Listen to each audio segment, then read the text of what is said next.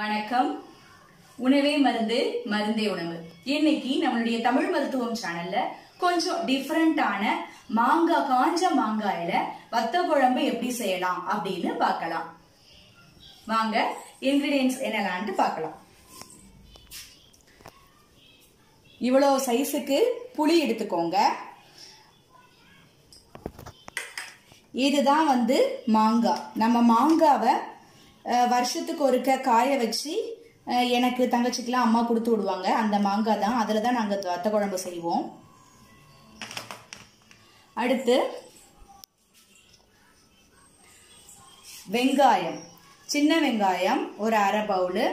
பூண்டு ஒரு அரை பவுலு. ஏன்னா மாங்காய் இருக்கிறதுனால கொஞ்சம் கொஞ்சம் கம்மியாகவே போட்டுக்கலாம். நல்லா திக்காக அந்த குழம்பு வைக்கணும். நான் வந்து ஒரு ரெண்டு மணி நேரத்துக்கு முன்னாடி அந்த மாங்காய் காஞ்ச மாங்காயை என்ன செஞ்சேன் அப்படின்னா வெந்நீர் விட்டு ஊற வச்சிருக்கேன். பாருங்கள் நல்லா சாஃப்டாக ஆயிடுச்சு. ஸோ இதை வதக்கும் போது நமக்கு கரெக்டாக வந்துடும் டூ ஹவர்ஸ் பிஃபோர் நம்ம வந்து ஊற வைக்கணும். புளியையும் ஓரளவுக்கு திக்காக நான் கரைச்சி எடுத்திருக்கேன் இந்த புளியை. அடுப்பை ஆன் பண்ணி எப்படி செய்யலான்னு பார்க்கலாம். ஃபஸ்ட்டு கடாயை எடுத்துக்கணும். கடாயில் நமக்கு எப்போவுமே புளி குழம்புக்கு நல்லெண்ணெய் யூஸ் பண்ணுறது தான் டேஸ்ட் கொடுக்கும். ஸோ கொஞ்சம் உண்டுன்னு தாராளமாக நல்லெண்ணெய் விட்டுக்கலாம் வத்த குழம்புங்கிறதுனால.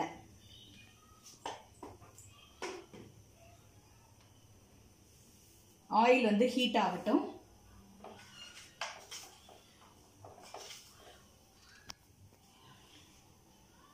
அரை ஸ்பூன் கடுகு. கடுகு சவுண்டு வருது நல்லா வெடிக்க ஆரம்பிச்சிருச்சு. வெந்தயம் ஒரு அரை ஸ்பூன் போடணும். வெந்தயம் வந்து ஏன் போடுறோன்னா புளிக்குழம்புக்குலாம் ஒரு வாசமாக இருக்கும் சாம்பார் புளிக்குழம்புக்குனா நான் வெந்தயம் போட்டு தாளிப்பேன்.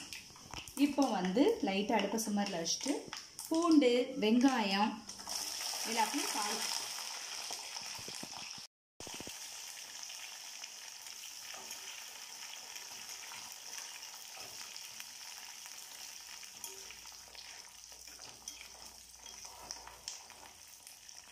கூடவே மாங்காவையும் நம்ம போட்டுடலாம்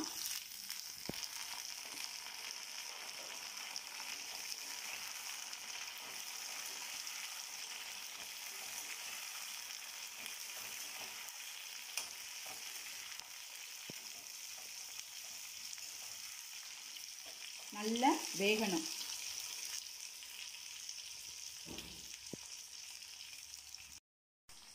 ஒரு அரை ஸ்பூன் வந்து மஞ்சத்தூள் போட்டுக்கலாம். நல்ல ஒரு ஸ்பூன் தாராளமாக உப்பு போட்டுக்கலாம். ஏன்னா மாங்காயில் புளிப்பு இருக்கும். ஆல்ரெடி நம்ம புளிப்பு அதுக்காக தான் கொஞ்சம் கம்மியாக எடுத்திருக்கோம் வத்த குழம்புக்கு ஸோ இதனுடைய புளிப்பும் நமக்கு வந்து இதாக இருக்கும். வேகட்டும்.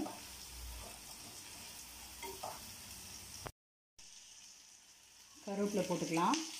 கருவேப்பிலை போட்டுட்டு நான் தாளித்த உடனே கருவேப்பிலை போட்டால் எல்லா இடமும் அப்படியே ஸ்பிளாட்டர் ஆகும்.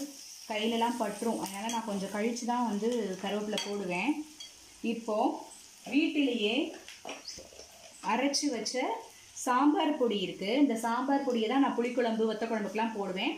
இதில் என்ன ஒரு ட்ரிக் பண்ணுவேன் அப்படின்னா வத்த குழம்புக்கு போகு போடும்போது இந்த எண்ணெய் வதக்கல்லையே ரெண்டு செகண்ட் வதக்கிடுவேன் அது ஏன் அப்படின்னா ஒரு கொஞ்சம் கலர் வத்த குழம்புக்குரிய கலர் வந்து நமக்கு சேஞ்ச் பண்ணி கொடுக்கும். இதில் இருக்கிற மசாலா டேஸ்ட்டும் சூப்பராக இருக்கும். நான் அதனால் அப்படி செய்வேன். நீங்களும் செஞ்சு கமெண்ட்டில் சொல்லுங்கள் ரொம்ப வாசமாக இருக்கும் நமக்கு. நம்ம அப்படி வதக்கும் போது கலரும் லைட் ப்ரௌனிஷாக சேஞ்ச் ஆகும். இதுக்காக வத்த குழம்புக்கு அப்படின்லாம் தனியாக பொடி அரைக்கணும்னு அவசியமே இல்லை. பார்த்தீங்களா இதில் போட்ட உடனே கலர் சேஞ்ச் ஆகிட்டு அவ்வளோதான் இப்போது புளித்தண்ணியை சேர்த்து விட்டு கொதிச்சிட வேண்டிதான்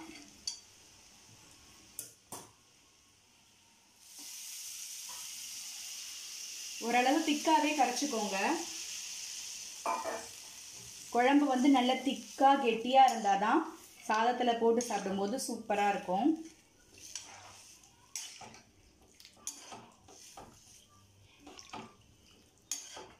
உப்பு மஞ்சத்தூள் எல்லாமே சேர்த்துட்டேன். கொதிச்சா குழம்பு ரெடி கடைசியில் ஒரு ட்ரிக் இருக்குது நான் அதை உங்களுக்கு சொல்லித்தரேன். இன்னும் குழம்பு இன்னும் ருசியாக இருக்கணும்னா என்ன செய்யணும்னு சொல்லித்தரேன். பாருங்க குழம்பு நல்லா கொதிச்சு திக்காக ஆரம்பிச்சிட்டு நம்ம இவ்வளோ வச்சுருந்தோம். இவ்வளோ தூரம் கம்மியாக இருக்குது ஸோ குழம்பு ஓரளவுக்கு ரெடி ஆகிடுச்சு உப்புலாம் சரி பார்த்தாச்சு இப்போ கடைசியில் நான் ஒன்று சொல்கிறேன்னு சொன்னேன். என்னென்னா ஒரு ஹாஃப் ஸ்பூன் நாட்டு சர்க்கரையை அப்படி தூவி விட்டு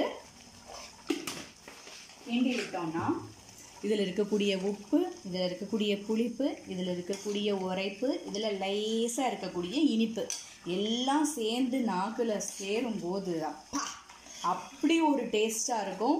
கண்டிப்பாக எல்லாரும் இந்த குழம்ப வீட்டில் ட்ரை பண்ணுங்கள் உண்மையிலே நல்லாயிருக்கும் ரெண்டு நாள் இல்லை மூணு நாள் இல்லை நாலு நாள் இல்லை. எத்தனை ஆனாலும் எத்தனை நாள் ஆனாலும் இந்த குழம்ப மிஸ் பண்ண மாட்டீங்க. வச்சு வச்சு சாப்பிடுவீங்க.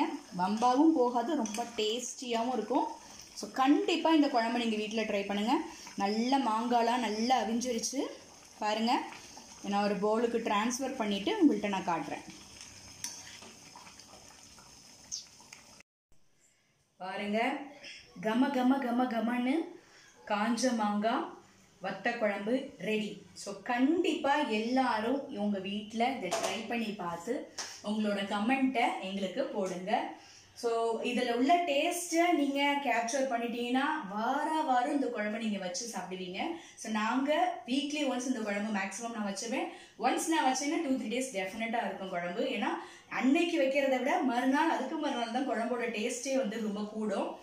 Um, அப்புறம் வந்து அஹ், இனிமே நம்மளுடைய சேனலில் வியூவர்ஸ் ரெண்டு மூணு பேர் கேட்டுக்கிட்டாங்க அவங்களுக்காக இனிமேல் நான் சமையலும் செய்ய போகிறேன் பியூட்டி டிப்ஸ் அப்புறம் வந்து நமக்கு என்ன பேக்கு மேக் மாஸ்க் அந்த மாதிரி நிறைய ஹேர் டிப்ஸ் எல்லாமே செஞ்சு காட்ட போகிறேன் ப்ளஸ் கண்டிப்பாக நம்மளுடைய சேனலின் நோக்கம் மருத்துவம் சம்மந்தப்பட்ட எல்லா விஷயமும் நம்ம டிஸ்கஸ் பண்ணுவோம். ஸோ எல்லாமே அப்படி ஒரு கிளப்பாக இனிமேல் வீடியோஸ் போடலாம் அப்படின்னு நினச்சிருக்கேன். ஸோ உங்களுடைய சப்போர்ட் எனக்கு ரொம்ப முக்கியம். நீங்கள் கமெண்ட் செக்ஷனில் இன்னும் நீங்கள் வேறு என்னெல்லாம் தேவைப்படுது நீங்கள் ஒரு இது கொடுத்தீங்கன்னா உங்களுடைய சப்ஸ்கிரைபர்ஸுடைய வாண்ட்டையும் நாங்கள் வந்து கண்டிப்பாக ஃபுல்ஃபில் பண்ணுவோம். அந்த வீடியோஸ் நாங்கள் போடுவோம். ஏன்னா உங்களால் தான் இன்றைக்கி நாங்கள் தௌசண்ட் செவன் ஹண்ட்ரட் சப்ஸ்கிரைபர்ஸ் வரைக்கும் நாங்கள் இன்க்ரீஸ் ஆகிருக்கோம்னா அதுக்கு நீங்கள் எங்களுக்கு கொடுத்த சப்போர்ட் மட்டும்தான். ஸோ நீங்கள் எங்களுக்கு ரொம்ப ரொம்ப முக்கியம். ஸோ கண்டிப்பாக எங்களுடைய வீடியோவை தொடர்ந்து பாருங்கள் இதே சப்போர்ட்டை எங்களுக்கு எப்போவுமே கொடுங்க.